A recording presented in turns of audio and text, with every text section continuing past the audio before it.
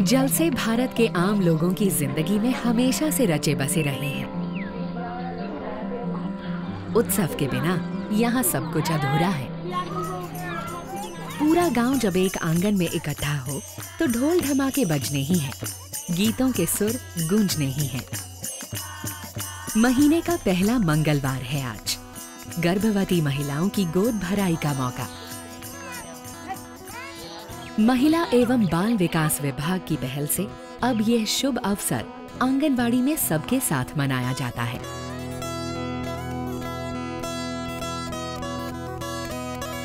समुदाय की भागीदारी न जाने कितने परिवारों को खुशी के मौके पर एक कर देती है।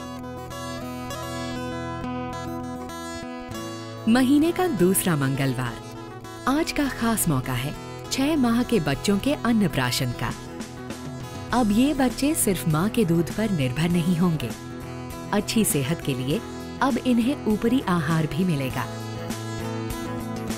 कुपोषण से बचाव के लिए सही समय पर ऊपरी आहार सबसे ज़रूरी है। गोद भराई महिलाओं की, बच्चों का जन्मदिन। छः महीने के बच्चे जाते थे, उनका अन्नप्राशन। अपने अपने घरों में अलग अलग व्यक्तिगत तौर पर करती थी।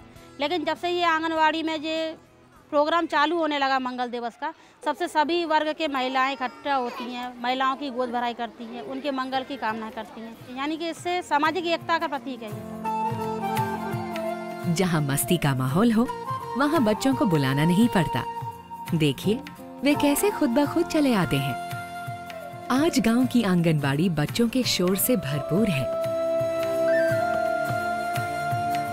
महीने का तीसरा मंगलवार।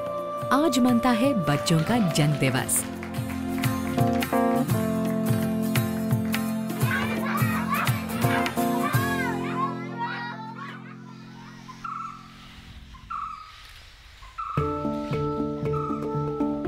महीने का चौथा मंगलवार होता है हमारी बेटियों का, किशोरी बालिका दिवस।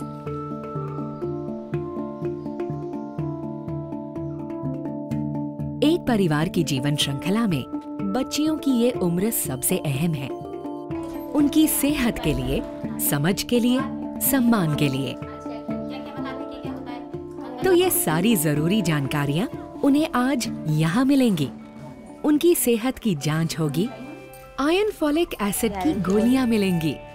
साथ में जीवन कौशल शिक्षा और आखिर में कुछ रचनात्मक गतिविधियाँ। कुछ खेल रंगोली। पहले तो बहुत कम लड़कियाँ आती थी आंगनवाड़ी में। कोई आता था कोई नहीं आता था। फिर धीरे धीरे बहुत सारी लड़कियाँ बढ़ती गईं और फिर हम सब सारे लोग मिलके आते हैं आंगनवाड़ी में और मैम से बात करते हैं और वो हमें कुछ जानकारियाँ देती हैं और जो हमें समझ में नहीं आता वो हम उनसे फिर से पूछते हैं। इन मंगल दिवसों का आयोजन सिर्फ़ एक रस्म या औपचारिकता नहीं है एक बड़ा मकसद है। मध्य प्रदेश सरकार की इस पहल के पीछे। गर्भवती की सेहत की सारी ज़रूरी जांचें हों। सुरक्षित प्रसव की जानकारी मिले। गर्भावस्था में सेहत भरे खान पान के प्रति महिलाएँ सजग हों। बच्चों को सही समय पर ऊपरी आहार की शुरुआत हो। आंगनवाड़ी की गतिविधियों में समुदाय सहयोग करे। आखिर माँ बच्चों की सेहत से बड़ा कुछ नहीं है।